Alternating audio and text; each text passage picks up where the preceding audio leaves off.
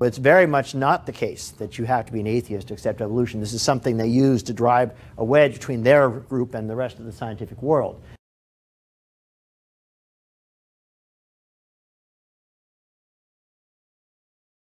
Usually, the first stumbling block is that people say, Well, I must surrender my faith in order to accept science. And that's a false choice. But a lot of churches make you do that.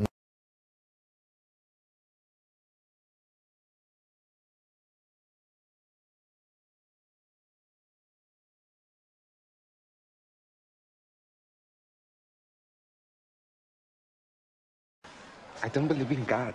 I believe in science.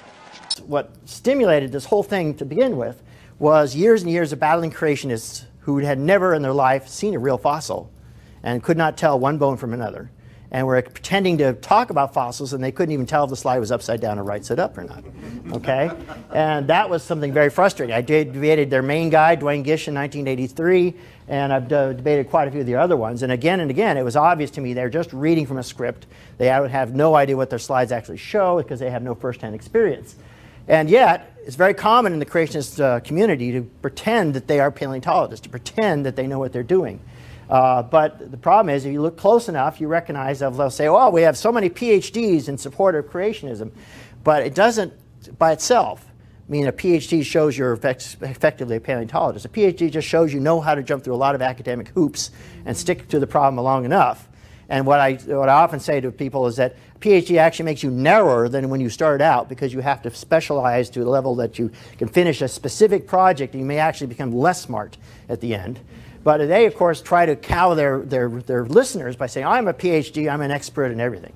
Okay, and that's a false argument right there. That's a false use of argument of authority.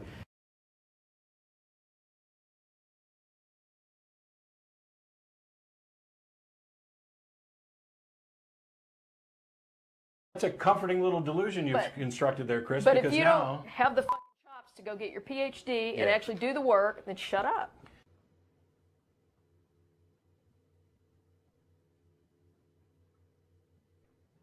Um, I guess good luck with that, and let us know when you publish something in a peer-reviewed journal that Oh, I'll give you some documents that. Um, I'll give you some peer-reviewed journals. Um, I, I don't want them. what? what? I, I don't want them.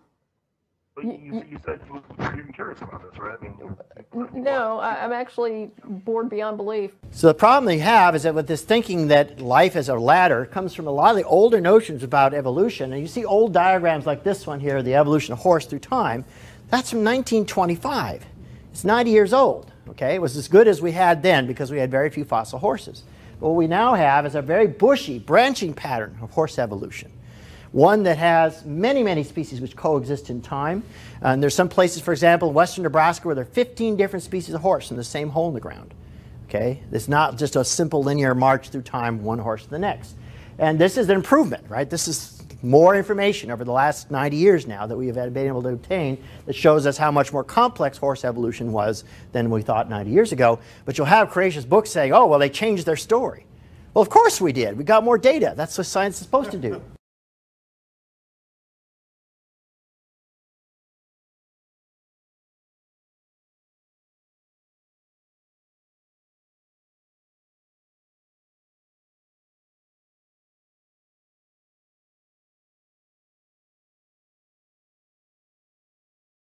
Okay?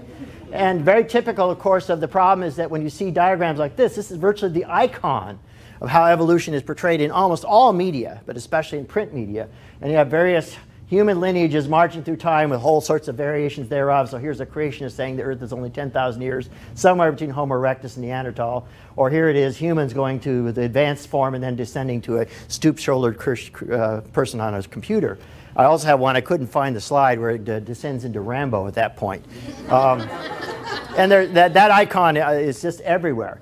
And it's totally wrong, right? This is the way most of the public understands evolution, so much so that this is the way it's represented in a single image, except it's completely wrong and has been wrong since 1859. Human evolution is not a march up from cavemen to us. It's many, many, many different species, right? There's something like 20 different species of hominids now known.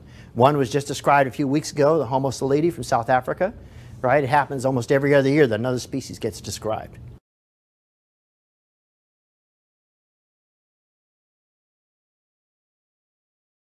The people who figured out that the fossil record changed through time were creationists. Way back in 1820, at least 30 years before Darwin's book came out. Okay?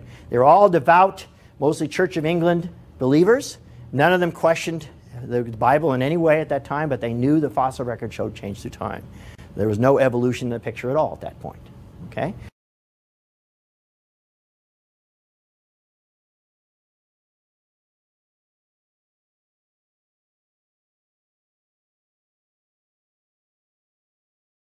There was no evolution in the picture at all at that point. Okay?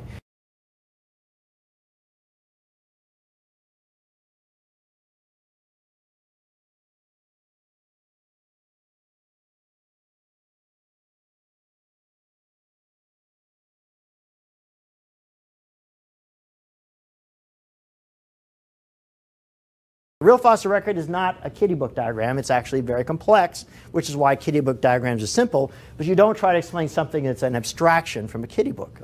You can go in the Central Rocky Mountains at Dinosaur National Monument and look at huge bone beds of Jurassic dinosaurs, which presumably could hike up to higher ground when it got flooded, except that right above it are marine beds with giant clams and nautilus relatives and things like that, which supposedly should have been in the lower strata.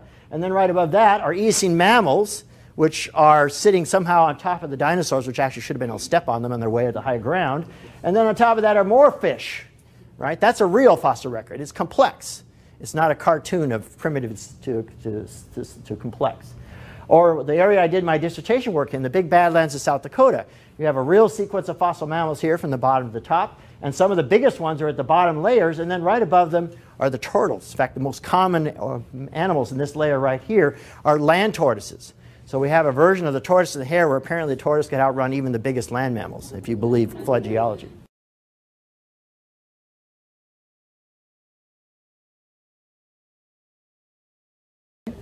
So there's all the hominid fossils there. Evolution. We have the fossils. We win.